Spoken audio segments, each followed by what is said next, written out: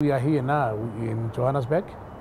It's because we have the second tripartite summit, which will then launch the negotiations for the establishment of the tripartite free trade area. These three regional economic communities, the Common Market for Eastern and Southern Africa, the Southern African Development Community and the East African Community, already they have achieved certain levels of integration.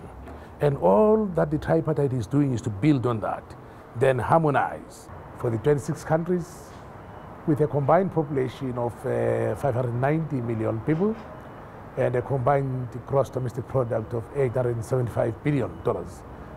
Make no mistake about it, I'm using the 2009 figures. As I speak, it's approaching 1 trillion dollars.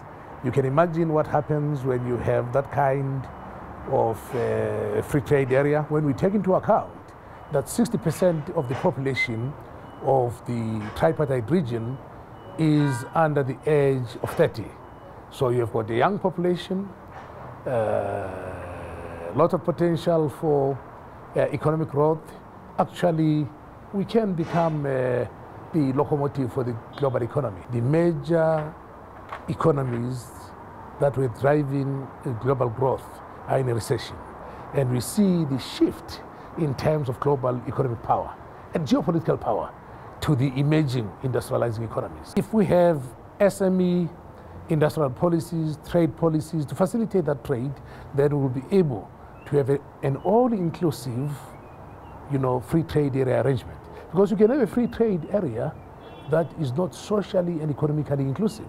And this is why under the tripartite FTA negotiations, uh, it has been agreed that you are not only going to have the governments uh, doing the negotiations, but you're also going to have the private sector and civil society also bringing their inputs in that process. Perhaps we stand on the threshold of the realization of that United States of Africa. It is the founding fathers who had this vision, and what we are simply doing as the foot soldiers, if I may say that, is simply to make sure that that vision is realized during our own lifetime. That's what uh, politics, economics, development is all about.